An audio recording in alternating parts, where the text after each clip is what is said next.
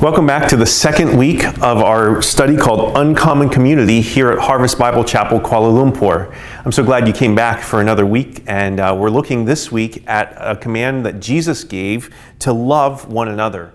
There's actually 35 or so different times that we are told to do something to one another and all of those all of those commands are describing how we are supposed to function together as a biblical community. Uh, not islands last week not isolated but interdependent like a body uh, is created to be. And so uh, this week uh, the first command love one another uh, as we begin. And uh, there's a verse that we're supposed to memorize did you memorize it is my question uh, I know uh, uh, we uh, sometimes have struggled with that. And so last week I quoted the memorized verse, and, and you were probably all looking and not quite sure, right? So, so here, you, you were probably like this uh, Beloved, let us one, love one another, for love is from God, and, and whoever loves has been born of God and knows God.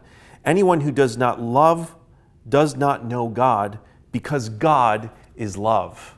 Now, now we're supposed to be trying to commit that to memory, and but actually more important than having it memorized is doing what it says. That's what we're going for. And so uh, the study tonight uh, is to help us understand that we don't just say that we love one another, but we need to prove it.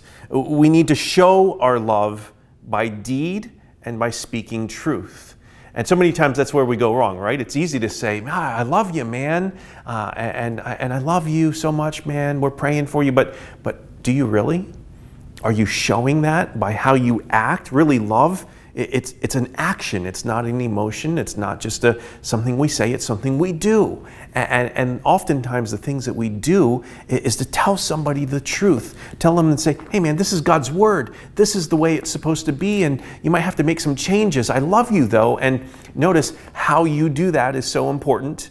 You can't just bop somebody over the head with truth you have to love them and you do it gently, but you can't ignore the truth in doing so as well. And so we're trying to find out tonight in our study how do we love? And 1 John chapter 4 uh, already has described, our memory verse already has described that, but later down in that passage, it says this uh, 1 John 4 20, it says, If anyone says that I love God and hates his brother, he is a liar.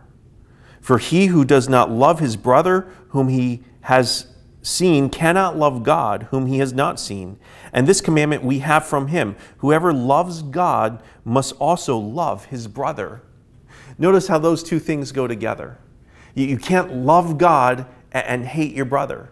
Actually, if you say you're loving God, you have to be doing deeds and saying things that demonstrate that you actually, truly love them. So tonight, the focus of our study, love one another, the application that we're going for, really in the form of a question uh, what are your actions and truth telling revealing about how you love other brothers and sisters in Christ?